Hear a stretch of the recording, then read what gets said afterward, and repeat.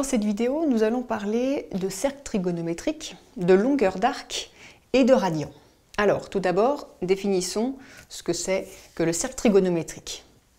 Donc, une définition, on appelle cercle trigonométrique, on appellera souvent cercle trigo, un cercle noté grand C 0, 1, puisque ce cercle il sera toujours de centre l'origine du repère 0 et de rayon 1. Et ce cercle est de plus orienté dans le sens direct, et je vous rappelle que le sens direct, c'est le sens anti-horaire, c'est-à-dire le sens contraire des aiguilles d'une montre. Ce cercle, son périmètre, je vous rappelle la formule du périmètre du cercle, c'est le diamètre fois pi, ça va donc être égal à 2 fois pi puisque son rayon vaut 1. Alors, j'ai dessiné ici donc un cercle trigonométrique, j'ai indiqué le sens trigonométrique, et ici, j'ai tracé la droite des réels tangente au cercle trigonométrique au point A. Alors, par enroulement de la droite des réels, c'est-à-dire qu'il faut imaginer qu'on va venir enrouler la droite sur le cercle trigonométrique. Donc par enroulement de la droite réelle D sur le cercle, on obtient les deux résultats suivants. À tout réel x de la droite, donc je prends un réel x et j'appelle n le point correspondant. Donc, on associe un point m, cette fois-ci sur le cercle. C'est-à-dire, quand j'ai basculé, quand j'ai enroulé ma droite des réels, ce point-là est venu se mettre sur le cercle au point M. Ce point, il est unique, c'est important de le voir. Et en fait, ce qu'on peut voir, c'est donc que la longueur de l'arc AM, c'est-à-dire cette longueur-là, correspond exactement à l'abscisse du point N, c'est-à-dire à la valeur X. Maintenant, une forme de réciproque, à tout point M du cercle cette fois-ci, donc je me mets ici sur le cercle, est associée une infinité de réels.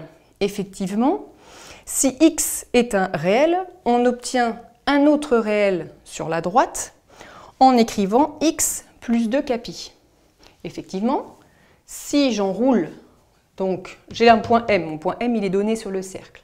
Si j'enroule la droite, je peux faire plusieurs tours. Autrement dit, je vais avoir un premier point n ici, mais si je prends x plus 2pi, c'est-à-dire je vais l'enrouler, mais je vais refaire un tour sur le cercle, bah, celui-là, il correspondra aussi au point M. Et puis si j'enroule cette fois-ci la droite, côté négatif, bah, je vais avoir le point M qui cette fois-ci va correspondre à celui-là. Celui-là, donc, correspondra au point M également. Donc, à tout point de la droite correspond un unique point sur le cercle, mais attention, si je me donne un point sur le cercle, il correspond une infinité de points sur la droite, puisqu'on peut enrouler la droite plusieurs fois sur le cercle. Et ces noms sont définis, on dira modulo de pi, défini donc à 2 capi près. On va définir donc dans cette deuxième partie une nouvelle mesure d'angle. On va appeler cette nouvelle mesure d'angle le radian. Alors, définition, un radian, c'est la mesure d'un angle orienté IOM interceptant, alors IOM, interceptant un arc d'unité 1 sur le cercle trigonométrique. Ça, c'est la définition du radian. Donc, on remarque que la longueur d'un arc et la mesure de l'angle vont être proportionnelles. Donc il y a donc proportionnalité entre les degrés et les radians. Donc, comme on sait que la mesure de l'angle plein, c'est-à-dire 360, est égale à l'arc complet, c'est-à-dire 2π, puisqu'on a vu que le cercle trigonométrique, son périmètre, c'était 2π, je vais pouvoir compléter le tableau de proportionnalité suivante qui va me donner la correspondance entre les degrés et les radians. Alors, donc j'y vais. 360 donc correspond à l'arc plein de pi. Et ensuite, je raisonne sur un tableau de proportionnalité. 360, la moitié c'est 180, je vais donc avoir la correspondance, 180 degrés, va être égale à un angle de pi radians. 90, c'est la moitié. Donc un angle de 90 degrés, ça correspondra à un angle de pi sur 2 radians. 45, c'est encore la moitié. Donc un angle de 45 correspondra à une mesure en radians de pi sur 4. 30, alors plusieurs possibilités. Soit je dis que c'est 180 divisé par 6, donc c'est-à-dire pi sur 6. J'ai 60, euh, c'est le double de 30, donc j'ai 2 fois pi sur 6, c'est-à-dire pi sur 3. Et puis 0 correspond à un angle de 0 radian. Alors, une petite application.